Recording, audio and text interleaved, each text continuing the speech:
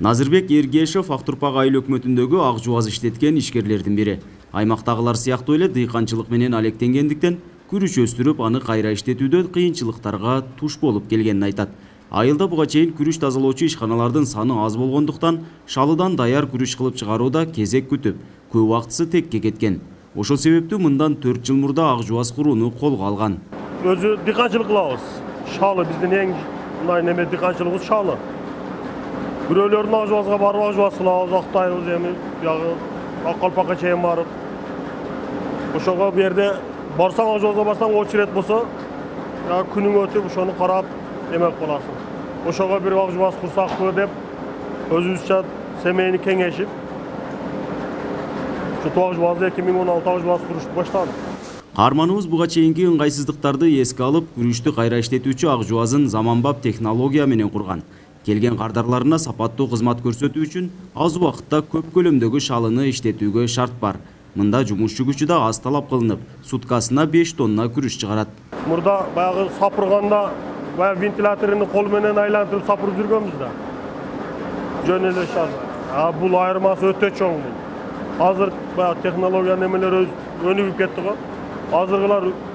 жүдө эле ыңгайлуу жагы көп. Азыр бир күндө бир суткада эки жүз кап шалап келсе актап кетет мурдагы ак жубаздарда беш кап шалап барсак бир жумалап жатып жүргөнбүз азыркы немелер өтө шарттары жакшы да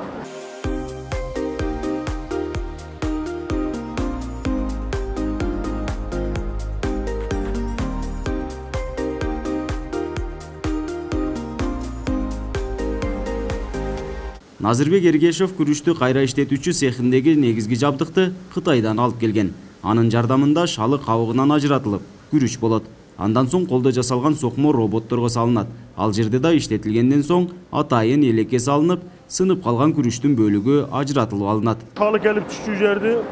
бункер дейт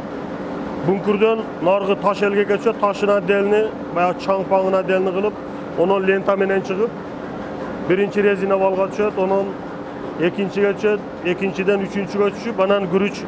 болуп чыгат элгенип майдасы ириге ажырап кийин роботко түшөт келиге бизде кели робот дейм роботко түшөт роботто урулуп болунгандан кийин кели мына жерде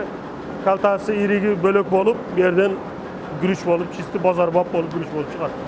ак турпак айыл өкмөтүндө күрүч талааларынын аянты үч миң гектарды ээлейт алты сорттуу айдалган күрүч түшүмүнүн көлөмү он миң тоннага чамалайт кайра иштетүүчү цехтер дагы деле жетишсиз болгондуктан жергиликтүү бийлик жеке ишкерлерге ар тараптуу колдоо көрсөтүп жатканын билдирди айыл чарбасына айыл банкы тарабынан күрөөсүз жеңилдетилген насыялар да берилип жатыптыр. он алты цех азыр иштетип мына башка жака сатып атабыз бирок бул дагы эле толук камсыз кылбайт биз ошо кайра иштетүү цехтерине дагы кошумча куруп жеке ишкерлер келсе мына жыл сайын курулуп атат буларга биринчи орунда ушу жерди берип буларга дагы кредит алып айыл чарба айыл банктын эсебинен кредит алып берип жардам берип жатабыз ушул элибизди бүгүнкү күндө камсыз кылышып жатат